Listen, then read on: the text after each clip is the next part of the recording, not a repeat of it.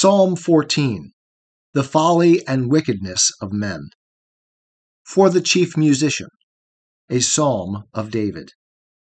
The fool hath said in his heart, There is no God. They are corrupt. They have done abominable works. There is none that doeth good. Jehovah looked down from heaven upon the children of men, to see if there were any that did understand, that did seek after God. They are all gone aside.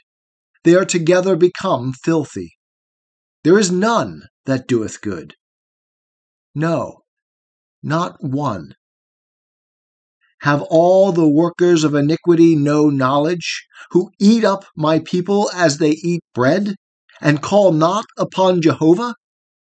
There were they in great fear, for God is in the generation of the righteous. Ye put to shame the counsel of the poor, because Jehovah is his refuge. Oh, that the salvation of Israel were come out of Zion.